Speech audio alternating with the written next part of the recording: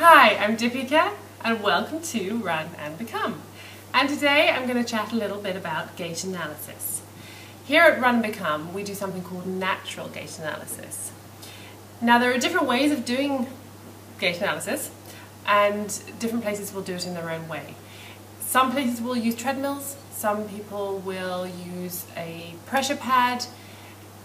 We do it the natural way by watching people run outside. The reason we do this is because not everybody is used to a treadmill. So sometimes if you get on a treadmill, you, you're not used to it, you don't use it, your balance will be off because of course the ground is moving underneath you. So instead of you propelling yourself forward, the treadmill is controlling you. Now if you're not used to that, then your balance is off and as you can imagine if your balance is off then your feet are doing different things so that can be different.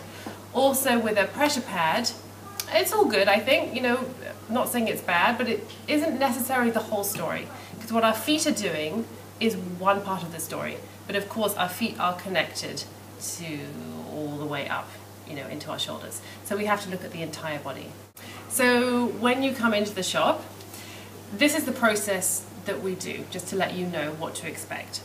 First of all, we bring out a pair of neutral shoes. These are shoes which are nicely cushioned and flexible and then we can watch you running and we can see how your feet are moving.